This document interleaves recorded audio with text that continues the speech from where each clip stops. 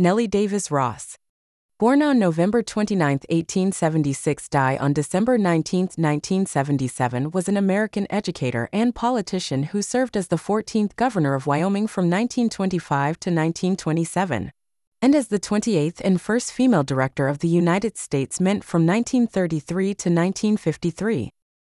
She was the first woman to serve as governor of AU.S. state and remains the only woman to have served as governor of Wyoming. She was a Democrat and supported prohibition. She ran for re election but refused to campaign herself. Ross was born in St. Joseph, Missouri, to James Wynns Tayloe, a native of Tennessee, and Elizabeth Blair Green, who owned a plantation on the Missouri River. Her family moved to Miltonvale, Kansas in 1884, and she graduated from Miltonvale High School in 1892. She attended a teacher training college for two years and taught kindergarten for four years. On September 11, 1902, Ross married William B. Ross, whom she had met when visiting relatives in Tennessee in 1900. William B. Ross was governor of Wyoming from 1923 to his death on October 2, 1924.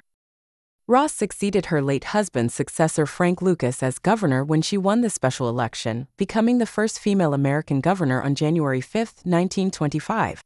She was a staunch supporter of prohibition during the 1920s.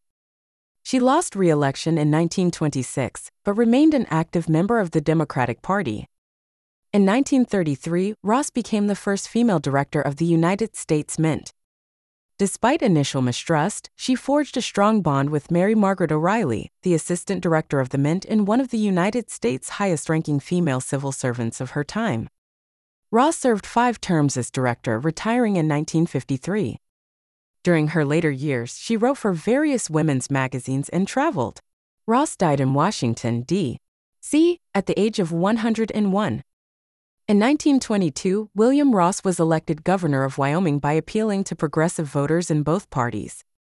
However, after little more than a year and a half in office, he died on October 2, 1924, from surgical complications following an appendectomy. The Democratic Party then nominated his widow, Nellie, to run for governor in a special election the following month. Nellie Ross refused to campaign but easily won the race on November 4, 1924. On January 5, 1925, she became the first female governor in the history of the United States.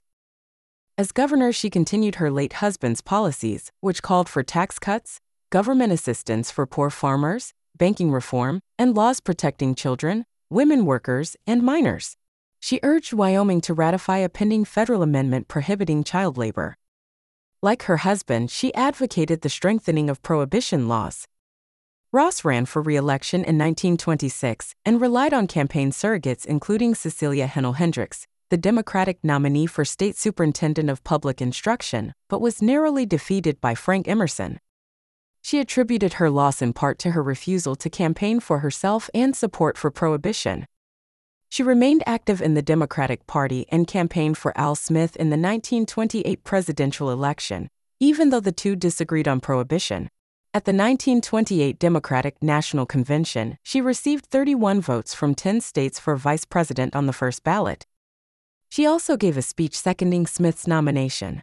After the convention, she served as vice chairman of the Democratic National Committee and as director of the DNC Women's Division. U.S. President Franklin D. Roosevelt appointed Ross as director of the U.S. Mint on May 3, 1933, making her the first woman to hold that position. Ross and the Mint's assistant director Mary Margaret O'Reilly, the sweetheart of the Treasury who had worked at the Mint since 1904, had mutual suspicions to overcome. Ross, who had endured poor relations with Eleanor Roosevelt and others on FDR's campaign, did not trust the career staff. O'Reilly saw another political appointee with no experience at the Mint Bureau replacing Robert J. Grant, who had been Denver Mint superintendent before his directorship. After a brief period, the two women came to appreciate each other's merits. Ross and O'Reilly soon came to the usual division of labor between director and assistant. The director would handle public affairs and make policy decisions as needed, while the assistant dealt with the day to day business of the Bureau. Ross undertook a heavy travel schedule, visiting Mint facilities, making speeches backing Roosevelt, and campaigning for Democratic candidates in Wyoming.